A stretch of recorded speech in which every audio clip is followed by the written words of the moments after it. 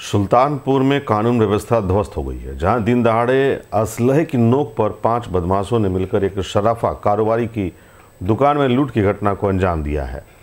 शहर के अंदर दिन दहाड़े लूट से हड़कम मच गया और घटना का सीसीटीवी फुटेज सामने आया है। सीओ सिटी शिवम मिश्रा दल बल के साथ मौके पर पहुँचे और उन्होंने बताया कि जाँच की जा रही है। सर्विलांस टीम लगाई गई है, जल्द ही बदमाशों को गिरफ़्तार कर लिया जाएगा।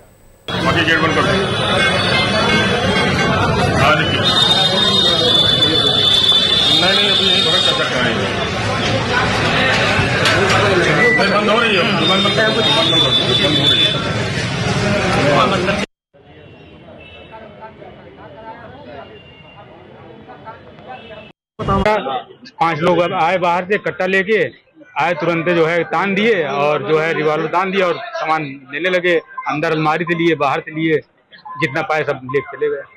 किसी को पहचान रहे थे नहीं किसी हेलमेट लगाए थे और सिर पे गमछा बांधे थे। देखने नहीं था करीब चार से पाँच लोग थे पाँच लोग थे करीब अंदर।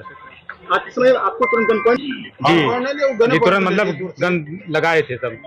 सब लोडेड गन थी पाँच पाँचों लोग लिए थे। क्या सामान किस से लोग? ये भी मोटरसाइकिल से ले गए। कितने कुछ ज्वेलरी थी कि लगत था क्या था? जी ज्वेलरी भी थी और कैश भी थे कुछ। कुछ और ग्राहक भी उसमें मौजूद थे जी ग्राहक दो कस्टमर थे।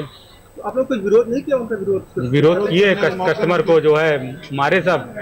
अब विरोध करने नहीं दिया सब। रिवॉल्वर ताने थे कहे तुमको मार देंगे। हिलना नहीं तो मार देंगे गोली मार देंगे।